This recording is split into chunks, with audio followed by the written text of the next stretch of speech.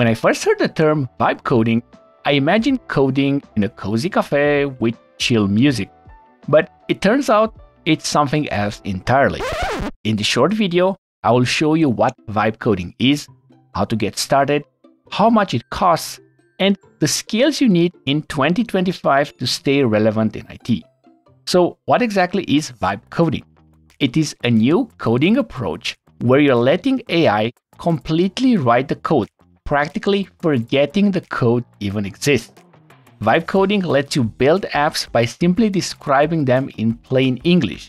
No need to worry about programming languages like JavaScript or Python. In a way, it looks like English is becoming the programming language of the future. And you might already be doing this without realizing it. If you ever copied code from ChatGPT, pasted it into your code editor, and then send errors back to ChatGPT to fix, congratulations, you've already done some primitive vibe coding. But trust me, you'll be blown away by what else is possible. But before we vibe too hard and deploy to prod by accident, let's take a step back. Vibe coding isn't a new tool, it's more of a way of writing code and building applications. This term has been coined by Andrej Karpathy, who describes vibe coding as the approach where you fully give into the vibes, embrace exponentials, and forget that the code even exists. Poetic, right? Now let's see it in action. On the front lines of this movement are tools like Cursor and Windsurf. Let me briefly walk you through a simple project. So this is Cursor, which is based on VS Code. To create a new project, you just chat with Cursor, which behind the scenes is using an LLM, and it will immediately get to work. I'm going to ask it to recreate my childhood game, a space shooter from the 90s. And here's the cool part because it is an agent, it does a lot of actions on its own, like creating files, executing commands, installing dependencies, deploying, and so on.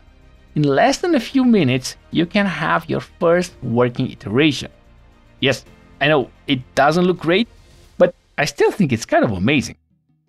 Now let's be real, this works even better if you refine your prompt and create a more detailed product description, ideally outside of the IDE, but you get the idea. It's like telling a builder, build me a house. You still need to specify the size, style, and materials. The clearer your instructions, the better the result. That said, don't expect magic from just one prompt. Rome wasn't built in a day. Like any project, start with a software spec, break it down into smaller tasks, build step by step, one feature at a time. This is how software development works anyway. But here's a common question Is the code created through vibe coding any good? The answer is eh, it depends. The code quality varies, and this is mostly because LLMs are trained on public data.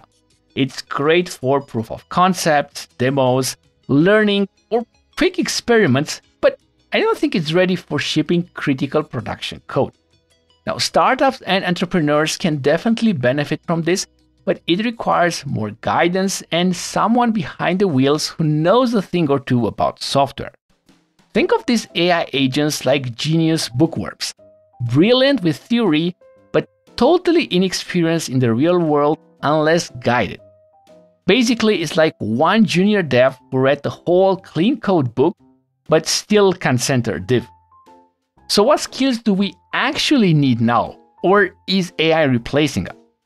The skills needed are definitely shifting. The most important skills now are being able to understand, debug, and why not guide the AI? You're not coding anymore, you're solving AI murder mysteries. And for that, you need expert knowledge. Imagine all the job postings looking for people who can debug code written by AI. Now, let's talk limitations for a second. Vibe coding, at least for now, struggles with enterprise level projects and large code bases. In enterprise settings, code is just one small piece of the puzzle. Excluding all the stand ups and that quick sync that eats your afternoon, most work goes into maintaining, securing, and improving systems things AI isn't yet great at. Here's why I'm excited vibe coding helps people build stuff. And I hope that at least some people will ditch the idea of not caring about the code and work to understand what's going on behind the scenes. Because eventually, someone will ask, Why is this broken? And the vibes were off isn't a valid Jira comment. You can get started with tools like Cursor and Windsurf and build something in no time. If you'd like a little help, I've created a course that shows best practices and guides you through the process. This course is for anyone curious about how AI is changing software development. Whether you're a complete beginner or an experienced dev, I will show you how AI can help you build faster and what you still need to know to do it right. And just remember, vibe coding isn't a silver bullet. It still takes time, practice, and patience. But with the right mindset and the help of AI, you can go from idea to working prototype and potentially a product in record time. Before we wrap up, let's talk cost for a second. Cursor and Windsurf both have free plans, but you will get most out of them with a paid subscription. That said, there are also low cost and free alternatives like Roo or Cline. In the end, whether you love it or hate it, vibe coding is here to stay and it is evolving fast. If it becomes too easy and everyone can do it, it's no longer a valuable skill. As an IT professional, you should always strive to grow. Take on complex tasks that scare other people.